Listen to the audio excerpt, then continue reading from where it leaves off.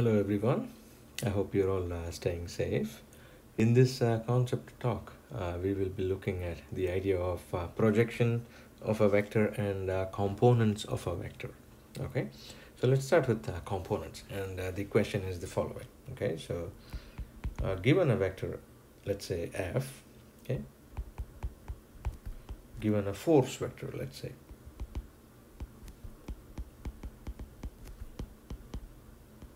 where F denotes a force and uh, we've already seen some time back when we discussed vectors and scalars that uh, force is a vector and this is uh, due to repeated observations without any exceptions.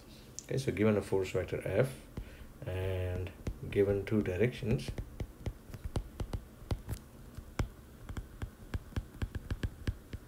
let's say u and v and I'll draw the figure we want to find the components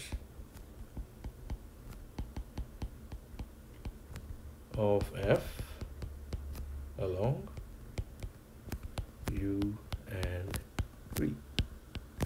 Okay this is the first and uh, so let me start off by drawing a force here okay?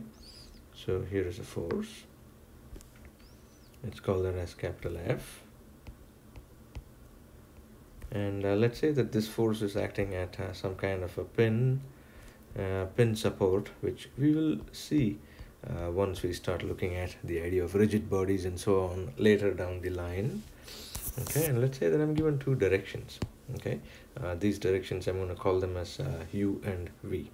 Okay so here is uh, one direction which uh, i'm going to call as u and then uh, here is another direction which i'm going to call as v. Okay so this is direction u and this is direction v. How do i find the components of this force? So here is what i do I make use of uh, the parallelogram law of uh, vector addition essentially. So the basic idea here is uh, I'm told, okay, hey, these are the directions and this is the force. How do you find their components? So I essentially reverse how the parallelogram law is used. I take the resultant vector and then I try to find its components. In the parallelogram law, we saw that uh, we took the components and then we pinned them together and got the resultant which means that the resultant vector, which is the vector f here, has to be pinned with the components together, right? And that's a basic idea I'm going to be following. Okay, so here is what I'm going to do. From the head of uh, vector f, I'm going to draw a line parallel to u. Okay, so which means that I'm going to take this line here, and I'm going to copy that, and I'm going to paste that. So this is a line that is parallel to uh, u, and so I'm going to draw it with uh, dotted lines. I don't need this entire length here.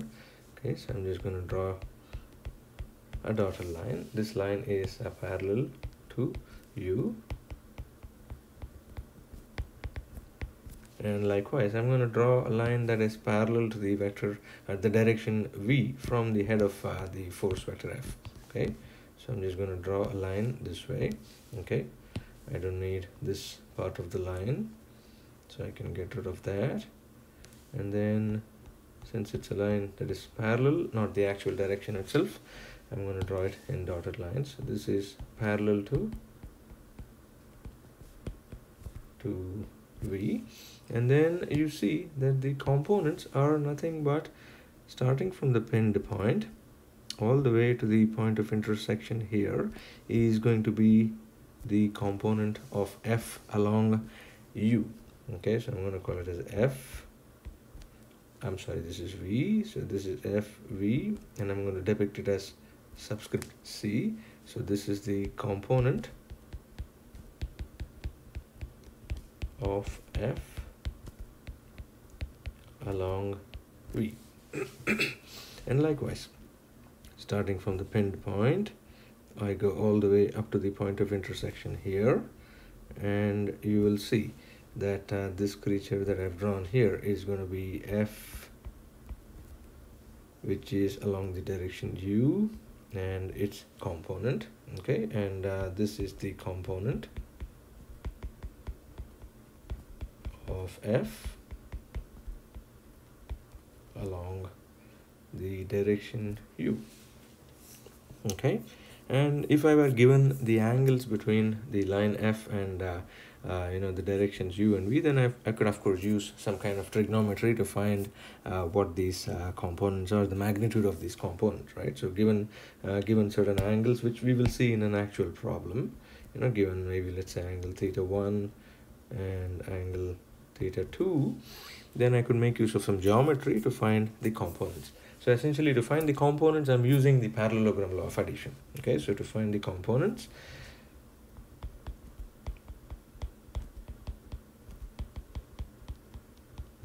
we are using ideas from the parallelogram law of addition or rule of addition.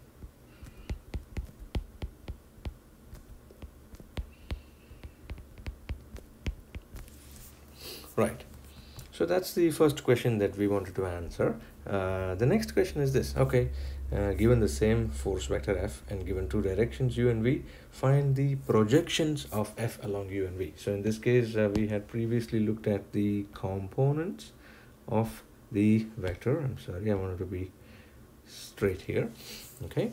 Uh, the next idea is, okay, given the same vector F and given the same directions u and v, how do I find the projections along u and v?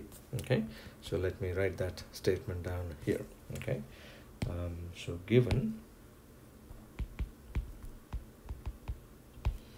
vector F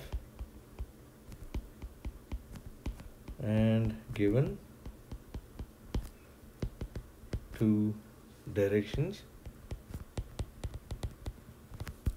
u and v find the projection of vector f along directions u and v.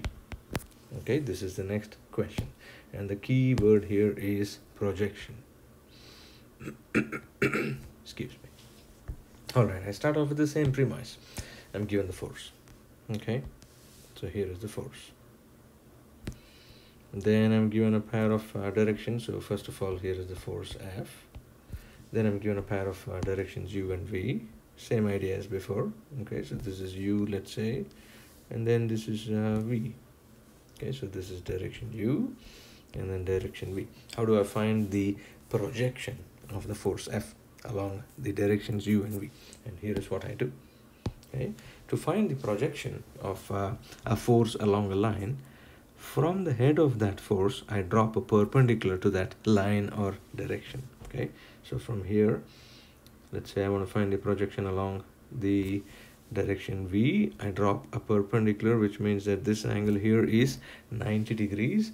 And so starting from here all the way to where the point of intersection is is going to be the projection of F along the direction V.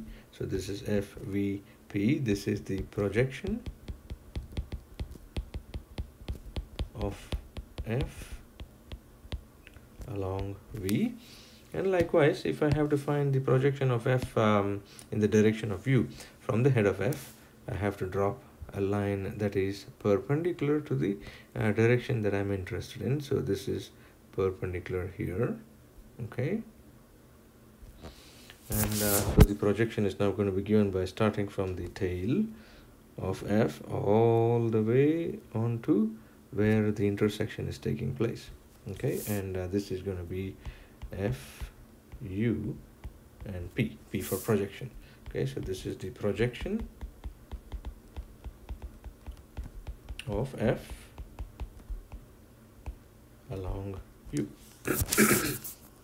and you know from basic trigonometry that uh, for example if i know this angle to be an angle theta 1 and if I know this angle to be an angle theta 2 then the magnitude of FVP is nothing but f times cosine theta.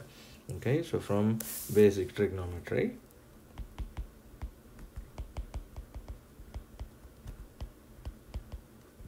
okay the magnitude of f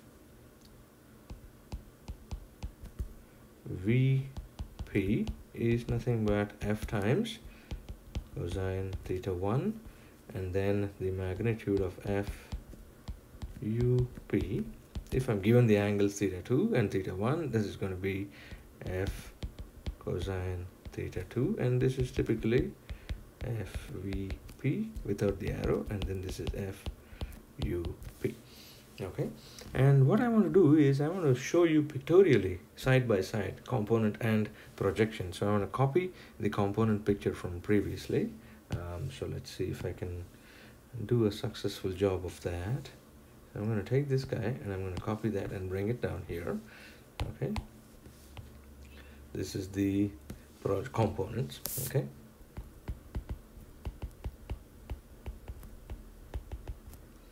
Okay and uh, likewise I have the projection. This is the figure that I want to copy. Okay so I want to take all of these creatures and then bring them down here.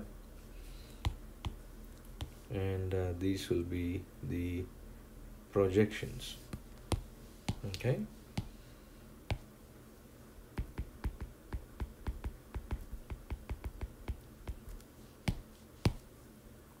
And uh, you see the basic idea if I maybe reduce the size of my screen here you see the basic idea that uh, the components are not necessarily the same as the projections. And this is true only if the directions u and v are not perpendicular to each other. Okay so this is a very very important statement. You can right away see that the length of fvp is not the same as the length of fvc length of fup is not the length of fuc and so for directions that are not perpendicular to each other the components are not the same as the projections. Okay? So for directions that are not perpendicular to each other for given directions that are not perpendicular to each other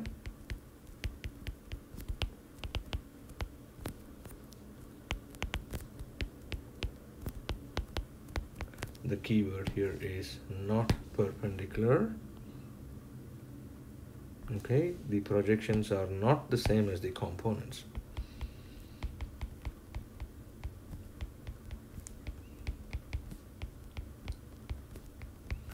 As the projections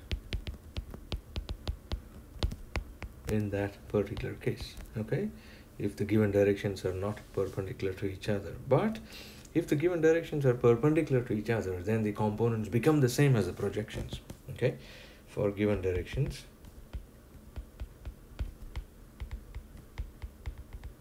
That are perpendicular to each other.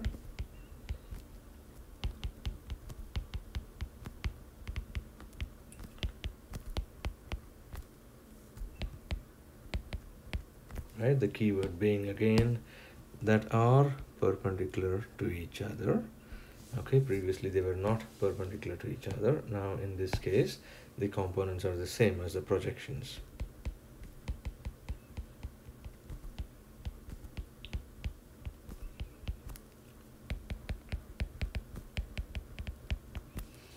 Okay.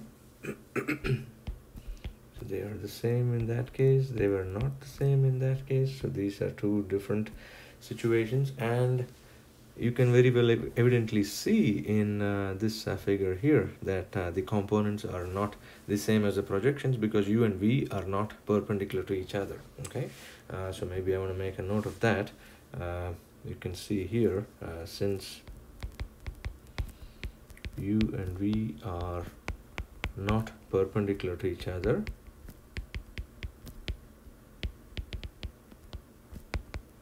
to each other the components of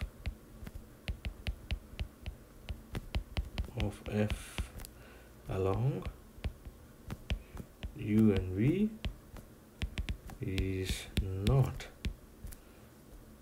equal to projections. Okay? And that's a, that's a really really important thing that I want to drill into you that if you have directions that are not perpendicular to each other. The projections are not the same as the components but if you do have directions that are perpendicular to each other the components are the same as the projections and typically an example of uh, such a direction is going to be the Cartesian coordinate system okay? Your Cartesian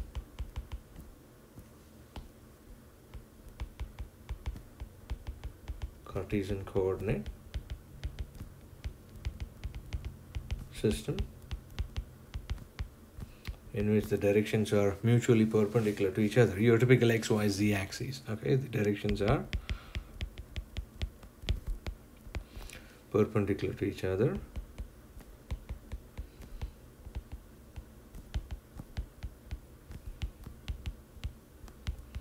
And uh, in such a situation then the components will be the same as the projections.